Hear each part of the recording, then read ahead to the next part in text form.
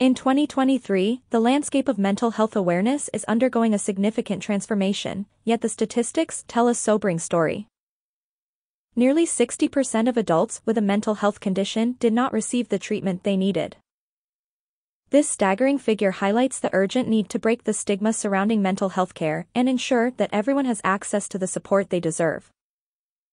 Furthermore, the reality is that one in seven adolescents experienced a mental disorder this past year, underscoring the critical importance of early intervention and support for our youth. Fortunately, there is hope on the horizon.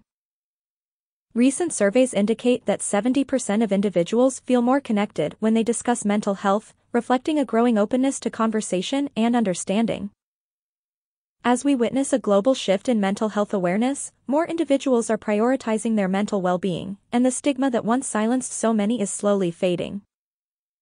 Virtual mental health services have emerged as a lifeline, offering accessible support anytime and anywhere, while mental health education is increasingly being integrated into schools. Empowering young minds with the knowledge they need to build resilience.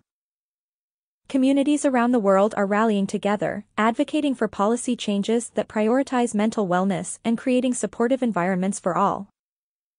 Together, let's keep the conversation going, embracing change, and ensuring that every person has access to the care they need.